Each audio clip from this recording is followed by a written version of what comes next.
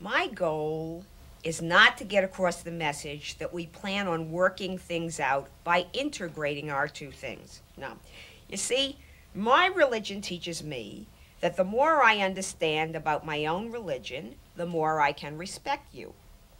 But the respect that my religion teaches me has nothing to do with understanding you. See, if the only way I'm going to respect you is to understand you, we got a problem.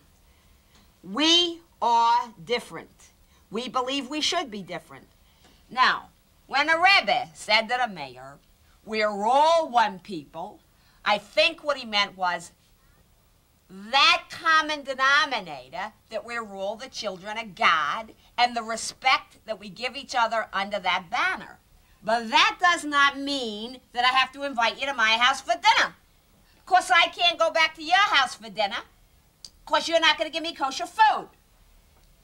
So, I had one black say, well, I'll bring in kosher food. No, no, I can't use your ovens. I can't use your dishes. It's not a matter of buying the food. It's buying the food. It's preparing it a certain way. I can't use your dishes. I can't use your ovens.